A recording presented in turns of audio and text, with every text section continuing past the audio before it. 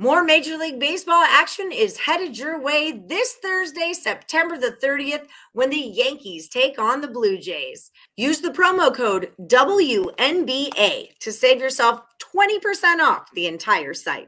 I'm Ali Burns from Picks and Parlays, and with me today, I've got Sean Higgs to give us the pick. What's going on, Higgs? Not much. Excited. I'm on a nice 66% run with baseball the last seven days.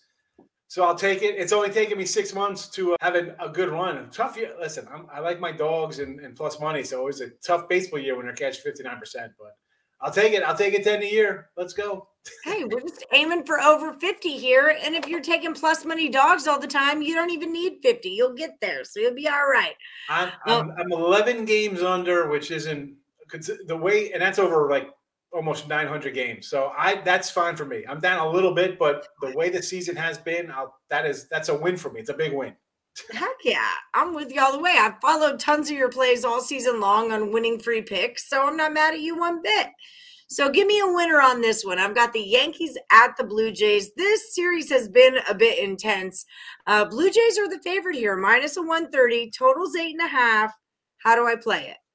Yeah, and I'm gonna say I got the Yanks tonight with Cole. I figured this is his.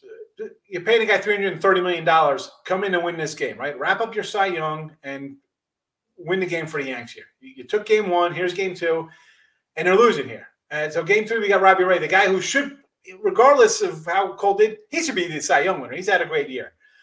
And I'm not a, a Kluber guy. We were talking a little off air about this. We said beginning of year he's not a good pitcher anymore, and it shows. I you know five ERA on the road, four something high, four ERA at home, or excuse me, overall on the year, four something on the road. He's not pitched well against Toronto this year. Uh, Eleven innings, uh, thirteen hits, eight walks. I mean that's a whip of basically two plus. I mean four home runs allowed. Not particularly well. On the flip side of that, though, Robbie Ray, as good as his 2.2 ERA is on the year, he's had a, a rough one versus the Yanks. Um, not good. Two starts, nine innings, eight hits, seven runs. So the Yanks have actually had his number a bit. But in this spot, I'm going to take Toronto. Uh, forget the 130. Want to lay 130? Go ahead.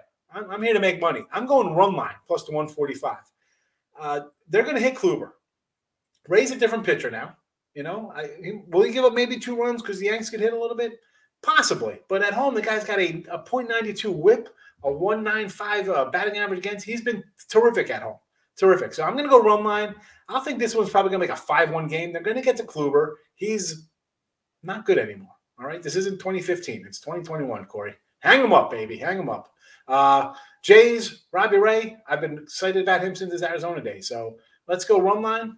Nice, I don't want to say easy 5 1 win, but I'm thinking something along those lines with Toronto don't say that word easy. Nothing's easy in betting. like I said, I said everything. If I'm in saying of taking a run line, I want it to be like easy the way, five one, as opposed to like it's two nothing and you're sweating like is it going to get some garbage run across with two outs? You know, I want something comfortable, five one. I get that. Like a big part of my personal sports handicapping is that I don't take minus one and a half with the home team. That's just part of my personal handicapping. But a bigger part of my personal handicapping is that I wake up and I fade Kluber. That's what I do. Okay. Yes. And it kind of stunk for me for most of the season. He wasn't playing. But the season before that, he was like my cash cow.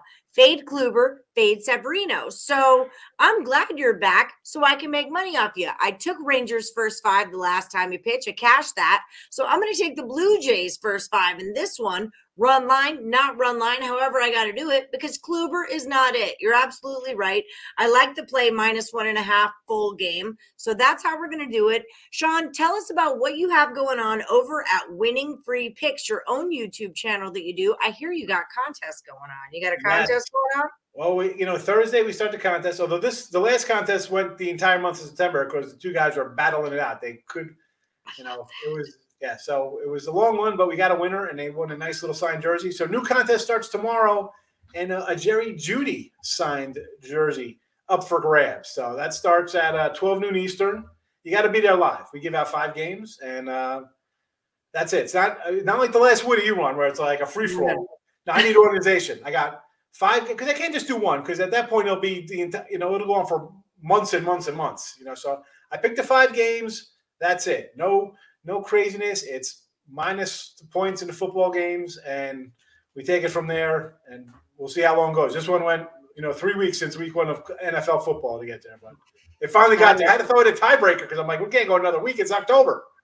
That's I do that as well. And you can't pick the same thing as the other guy, too. That's important to throw in there as well. Yes. All right, guys, check out Sean Higgs. He's got free contests going on, tons of free content at his uh, YouTube channel, Winning Free Picks. Until then, we're taking the Blue Jays on the run line against the Yankees on Thursday.